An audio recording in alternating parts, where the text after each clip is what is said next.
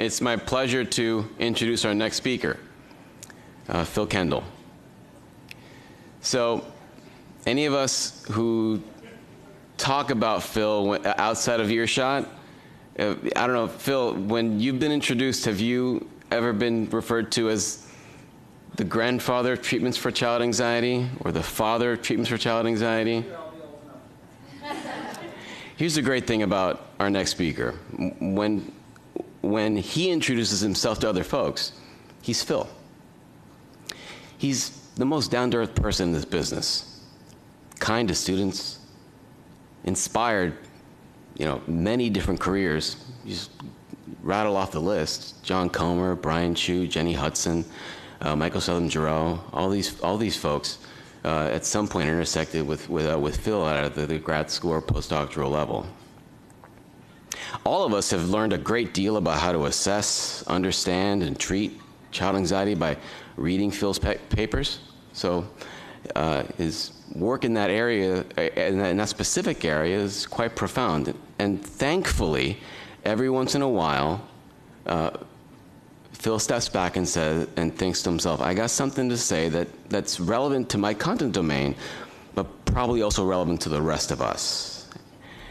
And when Phil does that, I sit up, I take notice, and I want to read the work.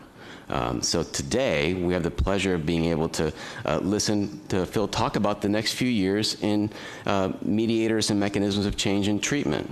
And essentially some of the tough issues we'll have to grapple with on how we design our studies, how we test mechanisms of change, how do we do that accurately and precisely, and come to a better understanding of when our services improve well-being, why are they doing it? Why are they, are they helping out uh, the, the, the kids we're trying to help?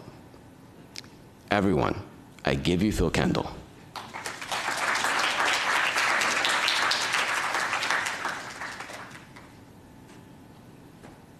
Thank you, Andy. Um, I'm a little nervous. As many of you know, I've given presentations on treating anxiety in kids. I've done the one hour talk fast, very dense, everything you need to know, skip along the top of the water of all the many studies. And I've given the week long training with the role plays and the supervisions and I have in various pockets the go to case studies to illustrate stuff. I don't have any of that today. Um, it's going to be less dense, and there are really just a few main ideas. And I like to be the funny Phil and have some anecdotes and stories, but today I'm the fussy Phil. Today, all I'm really going to do is wag my finger at the many people, no one here, uh, who have used some of the terms in our field incorrectly. Um, and that's unfortunate. But you're the future, and so we'll now get it right. One of the dilemmas in our field is that, and we can go back to 1997, I believe, Grayson Holmbeck wrote a paper about the misuse of mediators and moderators, and it's still happening. Uh, but we're going to get it right. You guys are the future, so we're going to get it right. Uh, the other thing I want to say uh, is to give credit to Andy, who said that the presentation would be roughly 40 minutes, and I was going to do 20 minutes, and my colleague Matt Carper was going to do the other 20 minutes. Uh, and then, of course, when you get here, it's two hours. Um, very clever. uh, but the sad part of that is that uh, Matt Carper can't be here. Um, Matt is very much the statistician with the additional modern analyses that he would have talked about. Um, he has, he's at Brown. He has an internship completion at Brown, but during the year had a couple of physical conditions requiring operations and missed many days. Uh, in addition, has a, a, court issue as well, so he's there, nothing illegal. Um, uh, so he had to go back in order to finish up so that he'll have sufficient number of days. So um, I, I will say publicly, I let him off the hook and said I would do it for him but I'm going to give it to him when I see him because some of what I have to say is really over my head. Um, so Matt's, Matt's not here, but at times I will attempt to speak for Matt. So let's, let's get started. I bet you've seen this question. And I just want to start out with my finger wagging by pointing out that many of you, not you, but the field, cite uh, Gordon Paul, 1967. That's wrong.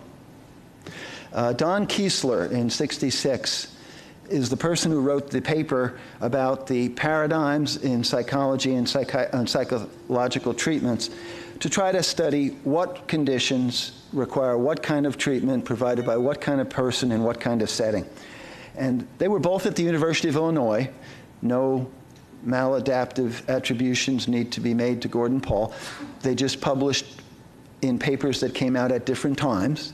Um, Gordon Paul was in the behavioral mold. Don Kiesler was Rogerian. And Don Kiesler worked with Rogers, Gendlin, Truax, Kiesler, that famous first RCT of treating people with serious disorders. Um, it didn't go very far. They had some methodological shortcomings, but he was Rogerian. Gordon Paul wrote about it as an important question, and he was behavioral. And of course, in that era, behaviorism dominated, so everyone cited Gordon Paul. But if you want to be fussy, like Fussy Phil, uh, you want to cite Gordon, you want to cite Don Kiesler. Um, and I think Kiesler got it right. This is one of those cases, almost like B.F. Skinner, where you go back and you say, reinforcement works. Yeah, that was pretty clever. That's pretty good. And the schedules of reinforcement work. Wow, that's really clever. Uh, I think Kiesler got it right. There's no one treatment that works most effectively for everyone. So we do need to do something in order to identify what treatment, when provided by whom, works best for which people with which disorder. And I call your attention to another fussy Phil. Uh, it doesn't say psychotherapy. Psychotherapy has baggage. It says psychological treatments. For those of you who are younger than I am, okay, for everybody here, um, psychotherapy for years meant a traditional analytic lie on the couch kind of approach. And for some people, certainly not members of this group, but for some people, it's still that way. And so when I've presented to grand rounds in a psychiatric hospital, for example, some people will come up and say, Oh, exposures, I understand that. I do that in my practice of psychotherapy. And I say, What kind of psychotherapy do you practice? Well, I do sort of an analytic approach. I said, Well, how do you do exposures? Well, we talk about things that are challenging for them, and the talking about it is the exposure. And I'm going, Okay. Um, so if, if you don't mind being wagged at, try to use psychological treatments as opposed to psychotherapy. You'll avoid the excess baggage. Okay, so Kiesler got it right. See if I can navigate these slides. Okay, I want to differentiate predictors, moderators, and mediators. Some of you are going to say, I know this, I learned it in graduate school. Some of you are going to say, I know this, I learned it in undergraduate school. And some of you are going to say, oh, I didn't know that. Um, a predictor is a variable that will have information about the likelihood of an outcome. So it's, it's sort of um, prognostic information. Most variables that we investigate are correlational and they're merely prognostic. It'll tell you the degree to which this person is likely to improve. It should be assessed before treatment. It's important to note that a predictor does not tell you which treatment works best for which people. If treatment A works for, let me say it differently, if treatment A is better for girls than for boys, that's a predictor, not a moderator. So let me give you an example. In the follow up of patients treated for anxiety, and no one will be surprised I'm going to use child anxiety as the, the case examples. Um, for youth treated for an anxiety disorder, the presence of parental anxiety at pretreatment wasn't a differential predictor, but the presence of a parental anxiety disorder was a predictor of differential follow up. So it's a measured variable that has a relationship to the prognostic outcome at a follow up point. Okay, when we use predictor, we're going to be fussy Phil.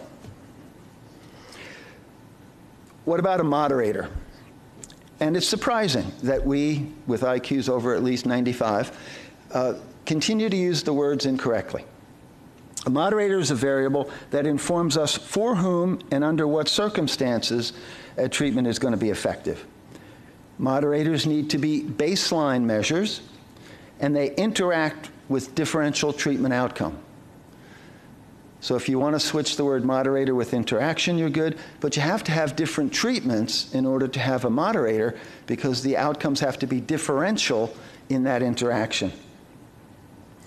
So moderators describe samples for which the inter intervention may be particularly effective. They don't say anything about mediation. So let me give you an example of a moderator. Take a study in which family CBT is provided for child anxiety and family education exposure. No, I'm sorry, change that. Family CBT is provided for child anxiety, and then education and attention is provided for child anxiety. So you have two conditions, both involve mom, dad, and child and therapist, but one involves CBT and the other does not. Then you take into account individual CBT. In individual CBT, the kids are in the sessions, the parents are not.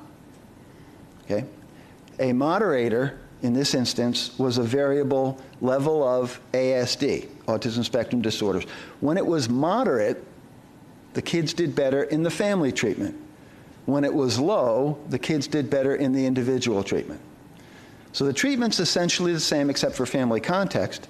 So you have two different treatment conditions, and you have an interaction or a moderator where the level of ASD differentially predicts who's going to do better. And it turns out if you follow up on the analyses, in the family condition, the parents did more out of session exposures, which might explain why the higher ASD kids did better in the family and the lower ASD kids did better in the individual.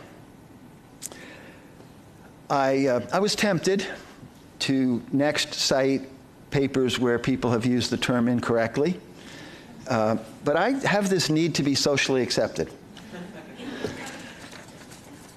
and it's a strong need, so I've chosen not to do that. Um, let's go on to mediators. Wow. If you talk about misuse of terms, I've, um, I'm sure we've all reviewed papers if not submitted our own, uh, if not been involved with the review of other people's manuscripts where you see the other reviewers. Uh, the number of times it's misused is phenomenal. And again, Grayson Holmbeck identified this problem in 1997. Anyway, a mediator is a variable that has implications for possible mechanisms. It must be assessed after randomizing patients. I'm sorry, it must have temporal precedence. So you can't measure pre, post, and follow up and measure the variables at the same time and then analyze for mediation. You have to have the variable happen between pre and post and be assessed at that time point. A change in a mediating variable will tell you something about a possible mechanism of change. My hope is that you folks will get it right. I suspect you will, and perhaps many of you already have.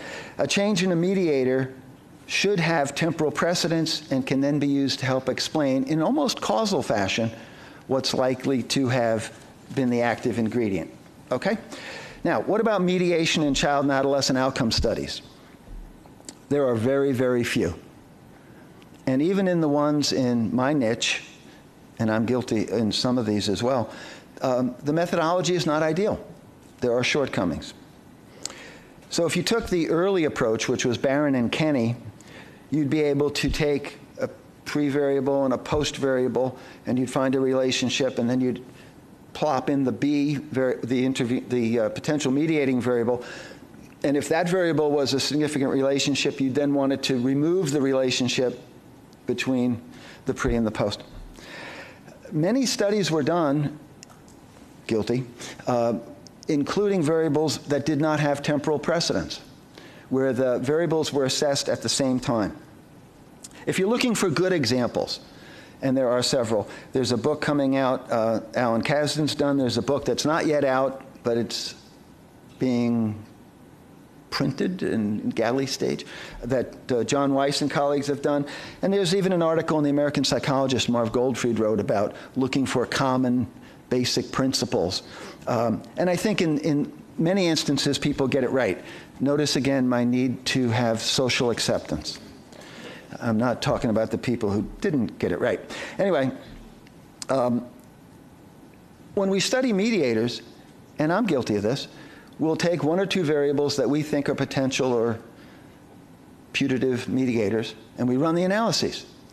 And then let's say you find support. You then say, this is a mediator. Well, it's not really a mediator. At best, it's a partial mediator. And we have to recognize that we might have tested one or two variables, and there could have been 20 or 30. And because one or two, and maybe you found one or two, were partial mediators, you can't eliminate the other 18 because you didn't evaluate them to know if they're also or even potentially stronger mediators. So again, it's a cautious language that's really needed when we talk about, about mediation. What we studied and what was supported, as well as what wasn't evaluated and perhaps not supported. So a couple of examples, and here I don't have to worry about social acceptance because I'm going to criticize my own work. So that's always good. Uh, in one study, we looked at changes in anxious self-talk. And so just a little background on how to measure anxious self-talk. How do you do that? You know, if you go up to a kid and you say, pardon me, what are you thinking right now?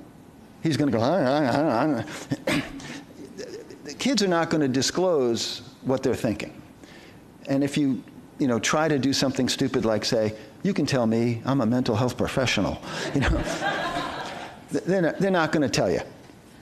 So we came up with a questionnaire method that basically tries to normalize the process and says, Everybody has things that pop into their head, and you can imagine a cartoon with the thought bubble. Everybody has things that pop into your head. Here are some things that have popped into the heads of other kids. How often do these things pop into your head? And that's our way of assessing anxious and sometimes depressive self talk. So, you know, the items on the questionnaire were not armchair developed. In other words, if I were to sit down and write them, that's an armchair approach. What we did instead was we went to schools, created modest effort, um, an emotional context, and asked them what thought pops into your head. So, in developing this measure of anxious self talk, imagine I come to your fifth grade class and I said, Guys, you've always wanted a yellow lab puppy. You're going to get one. What thought pops into your head? Write it down real quick. Guys, your family's had a yellow lab puppy and it passed away. What thought pops into your head? Write it down. Um, and similarly for anxiety and other things. And we would use emotional setups to collect all these thoughts that kids wrote down.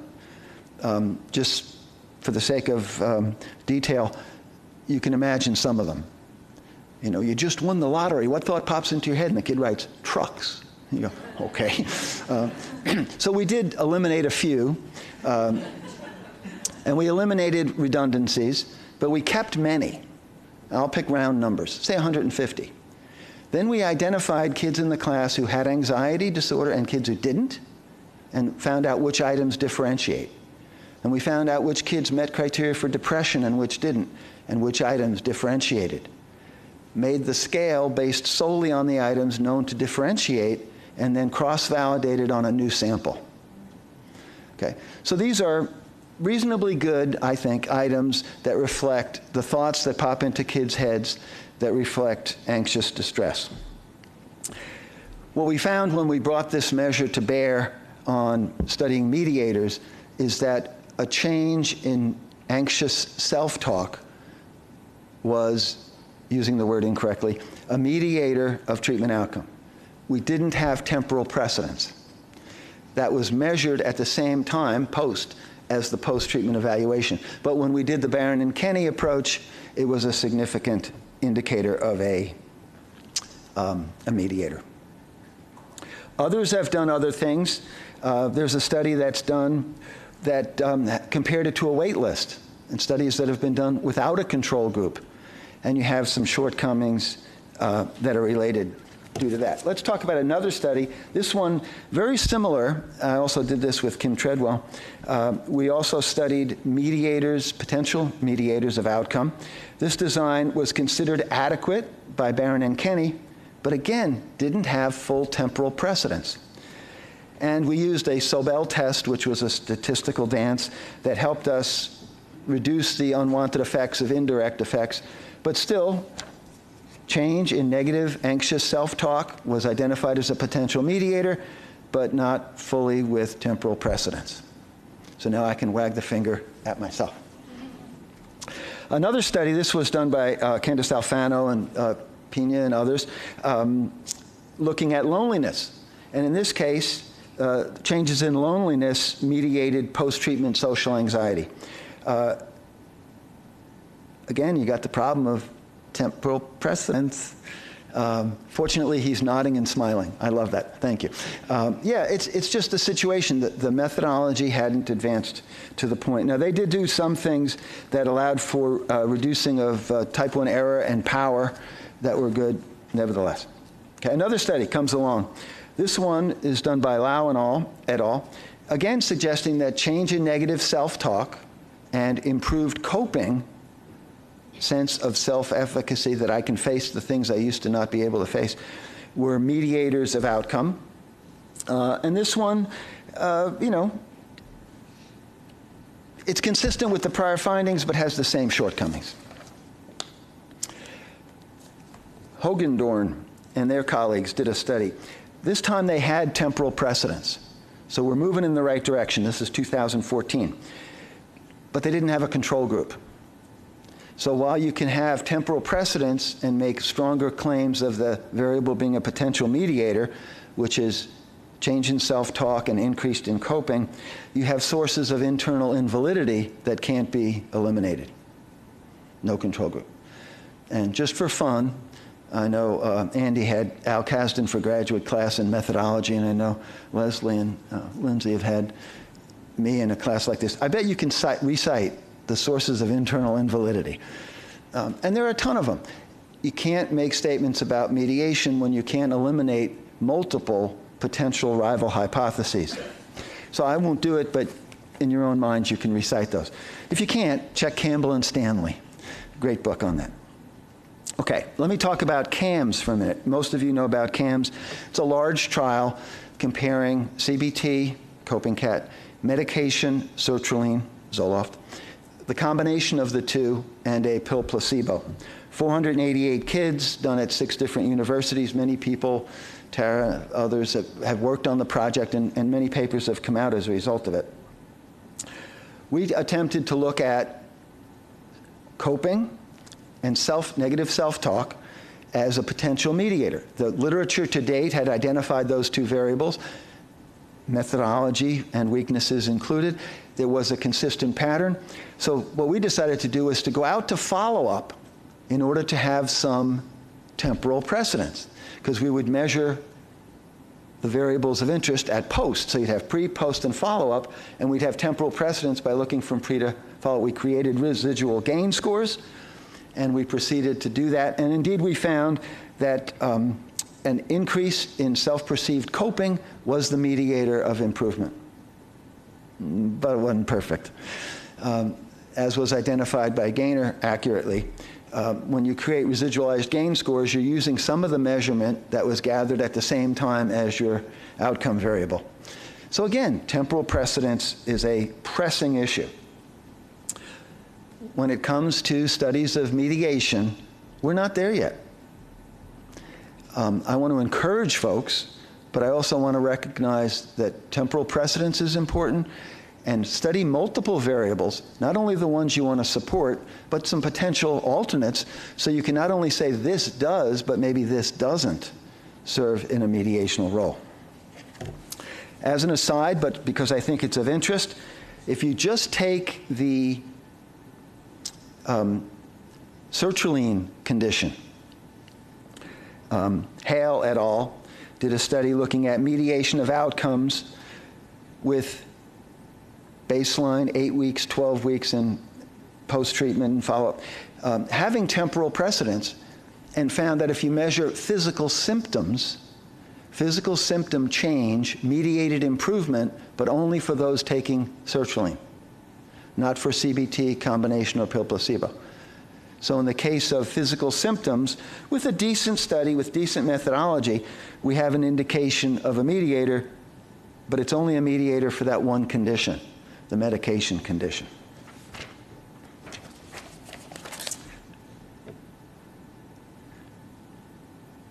So I've been talking and not changing my slides, apparently. oh well. Um, so, although cautious language is needed and temporal precedence is needed, um, there are some suggestions and trajectories that we can pay attention to. So, I think it's important to note that we need multiple assessment points.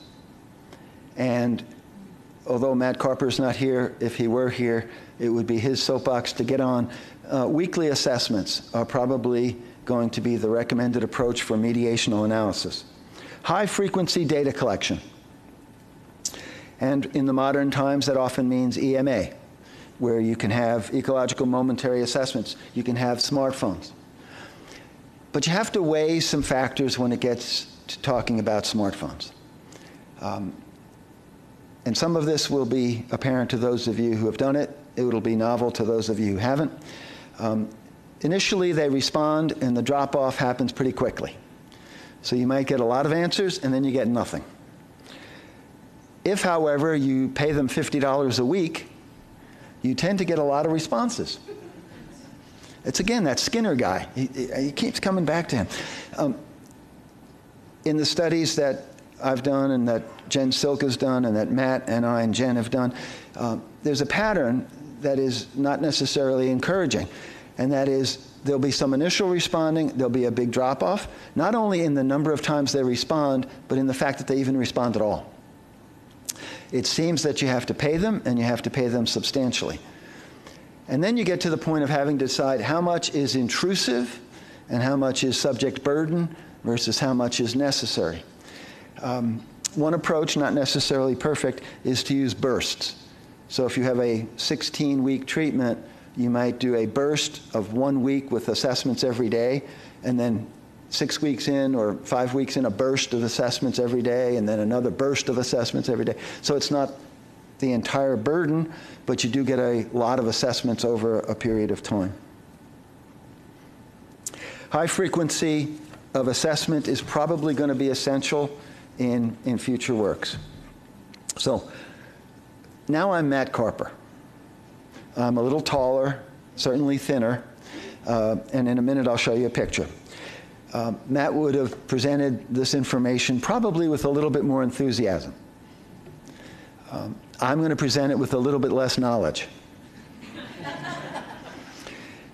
so, one of the things that Matt would say is that there are limitations to the group approach. And I'm almost reminded of the single subject designs. For those of you who've studied randomized clinical trials and single subject designs, it's a similar kind of argument. Change is not equivalent across participants. Okay, we know that. And in practice, the pattern of change can vary across participants. The assumption also in many studies is that change is linear, maybe quadratic, but it doesn't have to conform to those things. So I'm going to jump ahead for a minute and show you a slide that comes from CAMS in order to illustrate the non-linear nature of change in an effort to sort of suggest that not everybody has the same underlying uh, processes going on. So week zero, you can see all four about the same. They're quite high on this particular measure. It indicates severe, moderate to severe um, anxious disorder. You can see the black line, which is placebo, ends up with not as much improvement as the other three groups. The red line is the combination treatment. It has the greatest magnitude of improvement. And the green and blue line, which are CBT and sertraline respectively, end up at the same place. The statistical analysis over time with those data points indicates a significant quadratic effect the medication effect happens in the first portion of time. The CBT effect happens in the second portion of time. The CBT effect is greatest during the exposures. The medication effect is greatest during the initial time of taking the pills.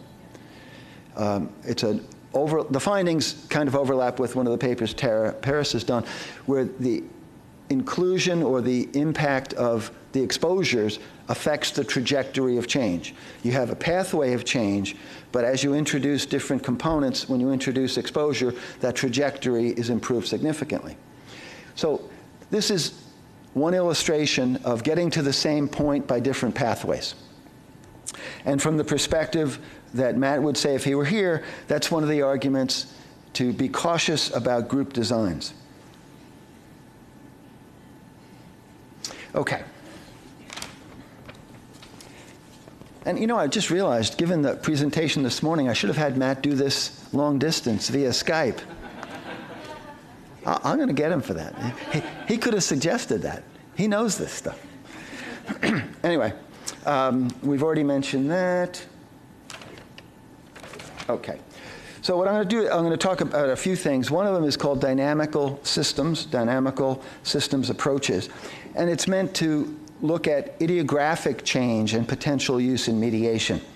So um, some terms, which you'll see up on the slide, um, attractors. These, these are stable patterns and a, a, a phase change has to do with this stable pattern changing and then coming back together in a different way.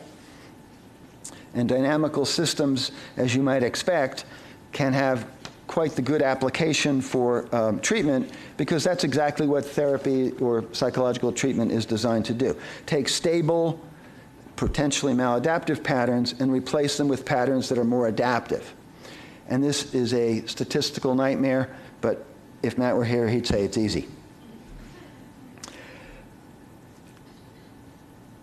So there are very few existing studies that use dynamical systems. Um, there are a couple that I could mention and go into detail. They're with adults. Um, one found that those who developed less variability in anxiety showed greater reliable change. So it's the individual subject pattern of consistency that became more consistent, predicted to reliable change. Uh, Mar- uh, Matt, help me with this one. This is confusing. um, this is similar. It's an increase in flexibility that was a differential predictor, again, using dynamical systems. Uh, this is the one I want to spend a few minutes on. This is the one that, that Matt actually conducted using dynamical systems approaches. And this, this is um, you can read the, the slide, but I'll give you a picture that will illustrate things a little bit better. It's a state space grid. Each participant has EMA data, and they're gathered and the relationships between bursts of EMA data, data collected every day for a week, let's say, are put on this space, state space grid.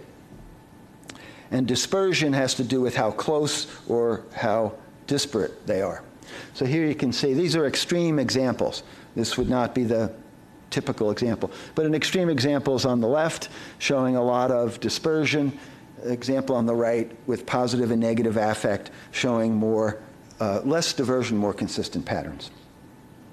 And the idea here is to see if there are changes in the EMA data that have to do with positive and negative affect that have something to do with, with outcome um, some of the advantages that Matt would spend more time on than I will. And another table that requires Matt's help. so, another version of this approach is one that looks at, let me get to this one, um, temporal relationships between and potential mediators of outcome. Here, the putative mediators and outcome occur at the same time. You assess them at the same time, but you assess them at multiple times. So let's say there are 10 times. You're going to have the same assessment points, but you're going to look at the different relationships over time back and forth. And there's one example that I'll, I'll give you. Uh, this example has to do with parents working with kids in family CBT, where you're looking at the alliance and outcome. And some people put a little bit more weight on the alliance. Some people put a little less weight on the alliance. But the alliance is there and it's important. Where does it have its impact? Well, as it turns out, if you use this approach, which is bivariate latent difference scores, mothers develop an alliance early in treatment and then see changes in anxiety. Fathers see changes in anxiety and then develop an alliance. I'm not surprised.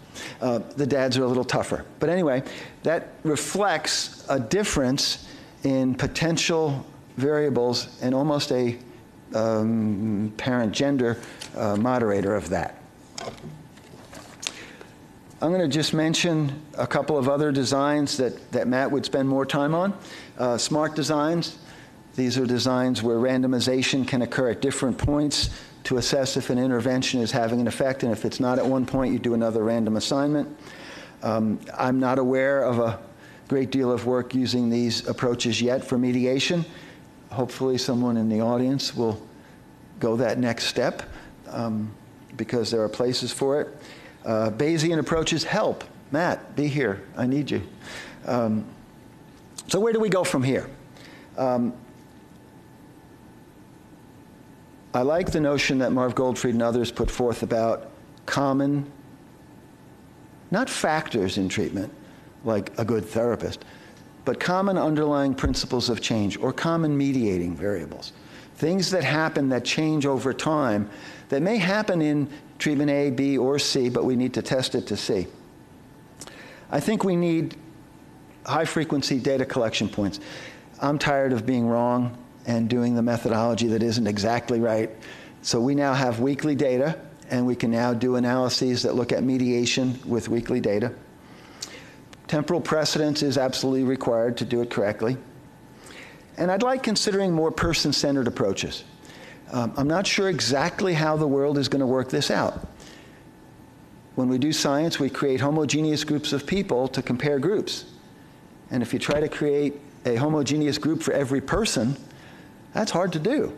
And so we have to somehow find ways to collectively put people together that's meaningful. And I think we're trying, and I think we're getting there. Uh, but person centered notions. Um, and for those of you who are in the grants business, um, PCORI, person centered outcomes research, um, they very much emphasize person centered approaches. And their approach, at least in part, is to emphasize the person's perception of what's important. So it's not just us saying, symptoms went down. It's not just us saying, you got better. It's they're saying, I'm interested in more life satisfaction. How did that happen? I'm interested in getting a job. Did it affect me? So the person centered part is also a reflection of people's input into the very variables we measure to see if there's outcome. Uh, Matt would say, dynamical systems approaches, and I would too. If I understood him a little bit more, I'd even be more gung ho. Uh, he would say that dynamical systems approaches uh, have, a, have the potential to contribute and understand mechanisms and moderators, uh, mediators. And I think the contribution is going to be the benefit of idiographics, the benefit of multiple assessment points, and taking into account the relationships of things, including potential outcome variables. It's not just A predicts to B, it's a whole bunch of relationships that may change over time, predicting to an outcome.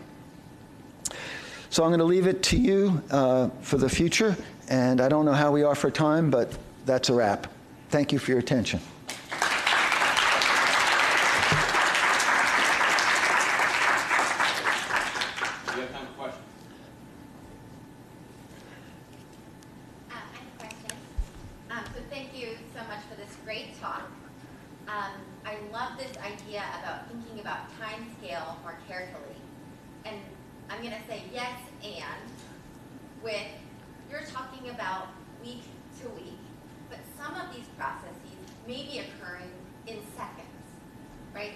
Sudden gains. Right.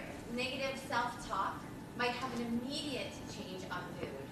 And so something like EMA, which you're already mentioning, could be worked into the multi-timescale analysis that you have at the second level, at the week level, and at the intervention level. So I just wanted to say yes and, uh, and build on that a little bit. Um, so I'm typically the science side. My brain works like trespassers will be experimented upon. you know, um, but I've dealt with IRBs, and I also have a human side. And my human side says, wow, the science side wants to measure everything every day, every minute with EMA and physio and Apple devices. But then you've got the human burden. So I endorse exactly what you said. Just weigh it against will they drop out if they have too much going on too often? And we want to be able to keep them in to get the data, so we have to weigh it. But I'm, I'm behind you. Yes, please. Susan. Sorry. So, thanks, Andy. Um, s- my- uh, My question is kind of related to this, and what I struggle with is deploying EMA in a way that doesn't require such um, incentive. Excuse me, I have to answer a message here. So, so the financial incentives, it's like, yeah, it's, it's a beast, so you, I get it. At the same time, it detracts from actually the deployability and, and how reasonable is this? And are, are we actually um, making the data funky by, by nature of having to get the data? Do you have any thoughts on that? I don't have an answer. I have, I have the struggles, the same as I suspect you do. Um, I like the idea of bursts, and Jen Silk gets, I think, credit for this. Instead of having too little data collected at too few time points, or too much data at too many time points that they drop out, you get a bunch of data, but you do it in bursts. Um, I, I think that's a reasonable solution. Um, we gave smartphones to kids. Uh, that didn't help. Um, we, we almost had contingent therapy sessions on whether you did it or not. That didn't help. Um, in one of Jen Silk's studies, she did in fact pay them 50 bucks. That helped. Um, but that's, that's very expensive. Um, and then you have the issue of when it goes off and where it goes off to trigger a response by the participant. And many schools won't allow you to have them in school. And so you've got Thursday through Monday, maybe, and it's weekend, which is non peer time sometimes, or maybe too much peer time uh, for Saturday night, let's say. See, will it be representative? You've got a bunch of issues. I don't have answers. Uh, unless those of you who are in the position to do this are willing to have children who will be professional subjects. Because then we could. Uh, that's my science side talking. Don't listen. Don't listen. Matt, did you have a hand up? Thank you, Phil. I feel uh, I, I appreciate Fussy Phil's uh, perspective on this, um, and and you're right. We need to do do a better job, and and also you know I like that you're sort of fussing us into the future with new methodologies. I think you know the. Um, the thing I kept thinking about during this talk was, you know, the the other side of your process-focused work relating to, you know, fidelity and implementation issues. And I guess the thing I, I keep I, I keep going around and around about in my head is um, all of this kind of contemporary measurement approach uh, relies on fairly uniform uh, uniformity across the intervention condition. That is to say, um, you know, the, the, the, the ability to, to, to say, you know, this really is the kind of CBT that's being delivered in your lab all the, all the time. And of course, you found that most people aren't necessarily, and Michael Southam-Gerow has found, you know, most people aren't necessarily doing it the same way. And, and I don't know, I don't know that we have the technology yet to sort of knit together those two different, different lines of, of work. Um, and, and, and I keep end up getting back to a point, as sort of a side that you made uh, at the, you know, the beginning, where like ultimately, what, where does that leave us? But back to sort of N of one type research. Yeah. yeah, Um, yeah. I don't know. How do you resolve those those two lines? So, um, an umbrella comment first. Um, I think um, fidelity to a treatment is important. If treatment A has certain outcomes, then you need fidelity to treatment A. Um, with intent of some humor, flexibility is also important because it's not lockstep. So I like to think of flexibility within fidelity which pronounce it correctly, it's not flexibility with infidelity. That's different. it's flexibility within fidelity. And so everybody gets rewards, but they're different for different kids. No, no gender differences intended necessarily, but the kids pick, girl kids pick scrunchies and boy kids pick uh, little soccer balls or whatever. Um, but they all get rewards. Um, the exposures are different for most kids, uh, but they all get exposures. So when I think of fidelity, I think of what's necessary.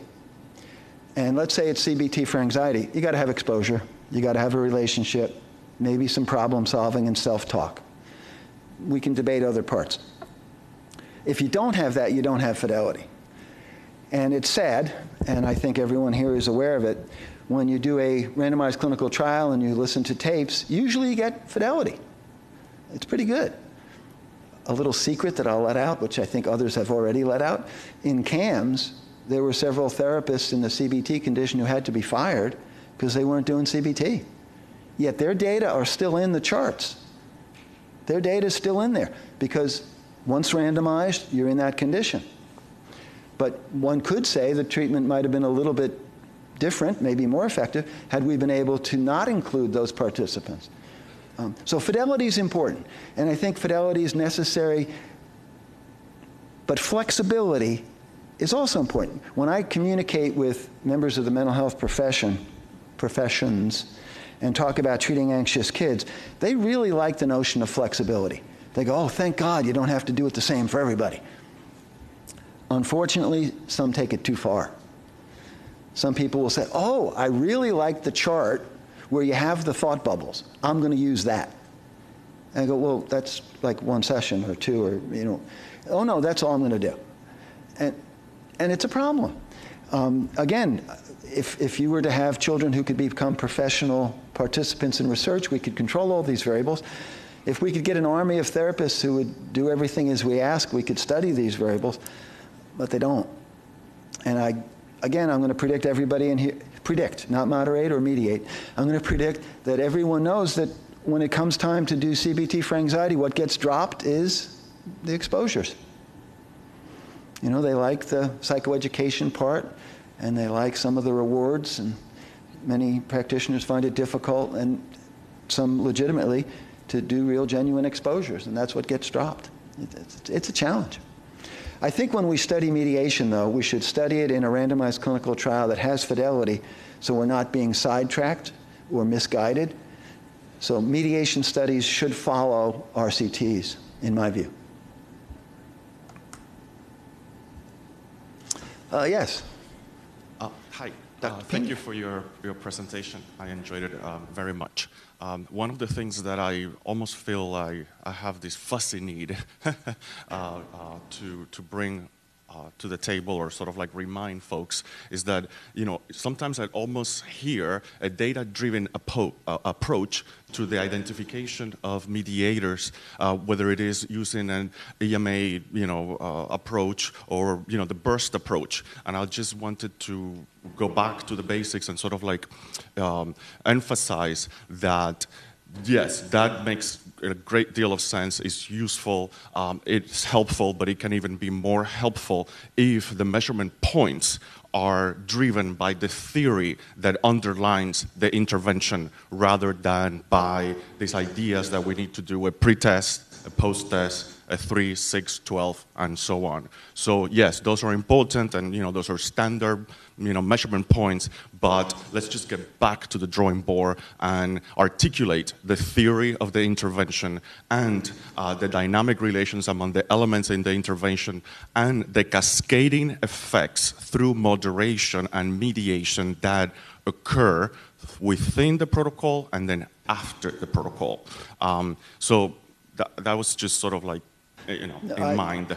The, the notion that we should have theoretically determined assessment points to properly test mediation. That was a slide. Matt took it out. I, I was in there. no, that's a good point.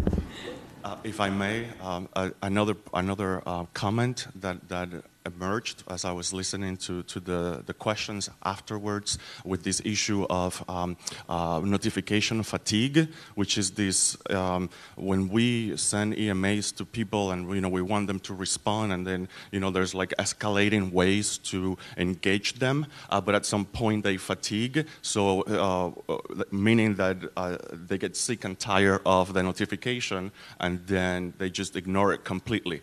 Um, and so there are are there's some work being done in software engineering uh, where they're identifying uh, in which ways and at which points fatigue emerges. So you know to be safe, um, less than five notifications or requests for data uh, within two days uh, should be an initial you know baseline or an initial phase, you know, for us to uh, gather our data and not go beyond that because people will, will begin to ignore. Um, the other approach that is being used in uh, software engineering is that these EMAs are being embedded within um, hybrid uh, interventions, so interventions that have both uh, face-to-face contact and then uh, digital health, and the EMAs are embedded into the digital health component as if it was part of the intervention. So it's seamless.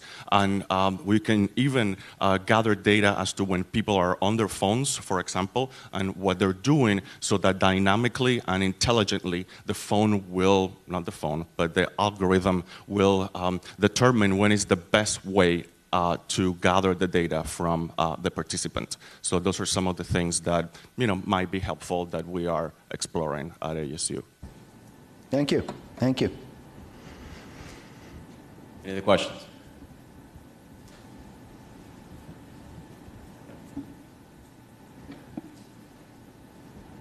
Um, Thank you so much for your talk. I had a quick question in the context of what you've told us today. Oh, in the context of what you've told us today, I was wondering if you had different recommendations in terms of data collection methods, intervals, durations, depending on the age of the participants, like early childhood versus late childhood versus adolescence. Um, let me give it some thought, and I'll attempt an answer. But others, please also, because I know we have several people who've, who've done this kind of work. Um, I'd say adolescents, it's easy um, to assume that they have some access to handheld devices that'll allow them to respond. Um, you got to look at SES for the younger kids. Um, in our upper middle class community, they all have phones. That's not typical in an inner city, lower SES community. So that might be a variable to pay attention to. As I said, we gave them devices um, for a while. Um, that only helped in the beginning. Um, anybody else want to contribute on that one? Developmental differences in the likelihood of EMA responding and judgments that might need to be made with regard to that. Dr. Pina? Armando. no need. Um, thank you.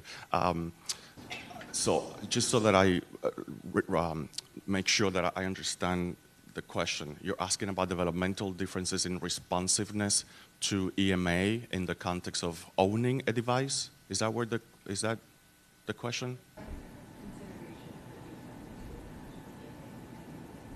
Yeah, so one of the things that, that we have learned, which you know I'm sure you have to, you know, also uh, because you I heard that you gave the kids the, some devices, um, is that you know that's sort of like an initial reaction that we may have. Well, you know, we got this grant, we got this research, we can just buy these devices, and even if they don't have it, you know, we'll just give it to them. And so for us, for example, for the with the little ones, with the you know younger ones, you know, one of the main issues that came up for us was that they were not charging the devices, so then they couldn't have access to it. So something so simple like that, that, that you don't really, you know, think about. Um, then there's the issues of like what kind of devices they might have, and you know, does the EMA approach that you have technology-wise fit with the device uh, uh, in terms of like if it's Andro- an, an Android versus iOS, and what level of it is it, and you know the nature of the questions that you're asking uh, in terms of the follow-up.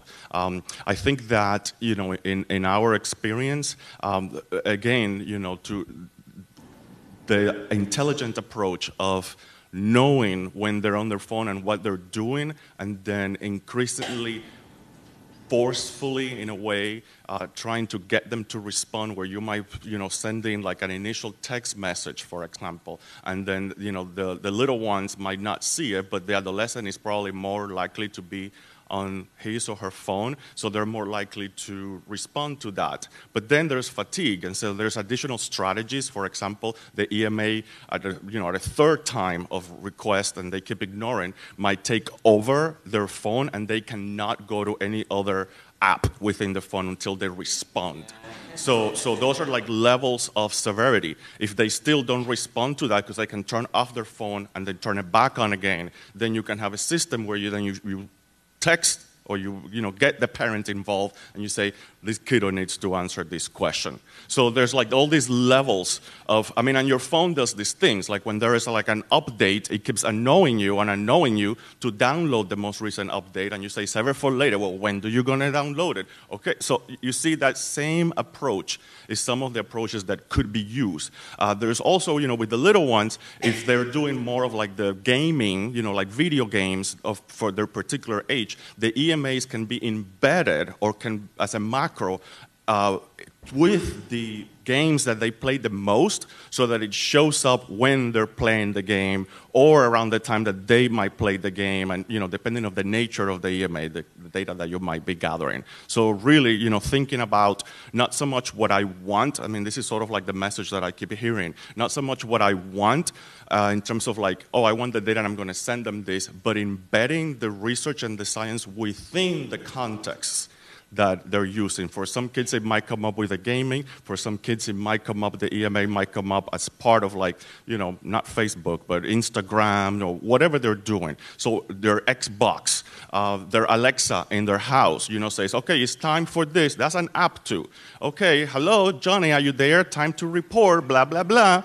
You know, so those are like some of the things that folks are, are exploring, you know. Um, so. Big Brother is watching. The phone locking thing, I'd be intrigued to see what the floor and ceiling effects on responses are for that. Like, if you can't get back into your phone unless you respond, No, I'm really stressed out. That's what I think. yeah. Interesting. I, I think we have room for, yeah, one more question.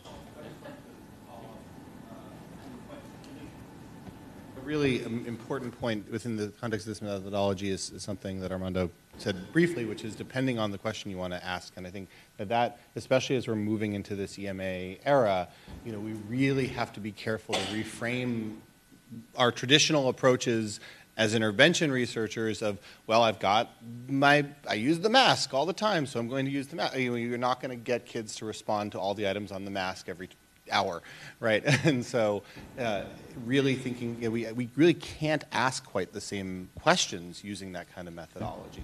And so, I actually think in some ways it highlights exactly um, one of Phil's points about, about me. If we're thinking about mediation, we have to think much more carefully about mediation. We can't just say, well, I don't know, did change in my standardized measure precede change in my other standardized measure? Because I asked them again a bunch of times. But rather, you know, do I really feel like, you know, what, what, what can I get? Can I get um, one item instantaneously a bunch of times a day about their affect at this moment pertaining to their social interactions.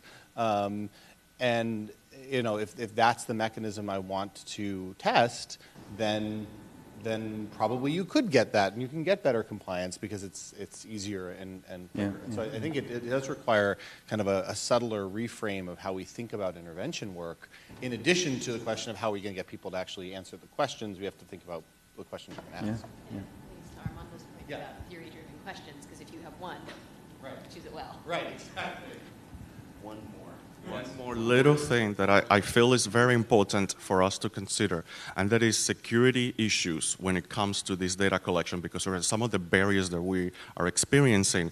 For example, you know, when Phil is talking about like the human subjects and participant participant burden, you know, imagine, you know, a world where the, your phone would know, or the kid's phone would uh, let us know we can do it, but it's not going to go through IRB.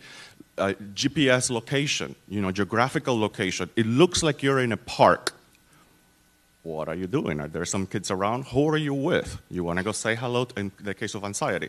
You want to go say hello to a kid and invite them to play together? So something like that would never fly through an IRB because that's GPS location. So it threatens, you know, the safety of the participant. But with sec- improved you know, security measures, then we might be able to dream bigger and, and be more embedded in the ecology of the child and family.